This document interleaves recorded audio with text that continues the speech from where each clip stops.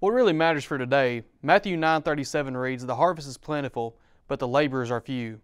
As Christ looked at the crowds with compassion, he turned to his disciples and explained the situation at hand. His ministry over the past few chapters proves that the harvest truly is plentiful, but he exposes the problem that the laborers are few. And when you look at today's world, you can see how sad but true that statement really is.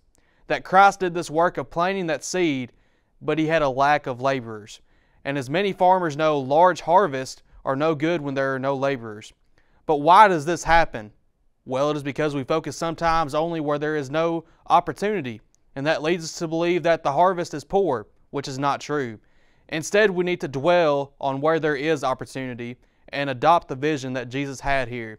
And if we do that, we will not only see that opportunity, but our eyes will be open to those who are hungering around us. And that's what really matters in a minute today with the Church of Christ that meets in Leoma, Tennessee.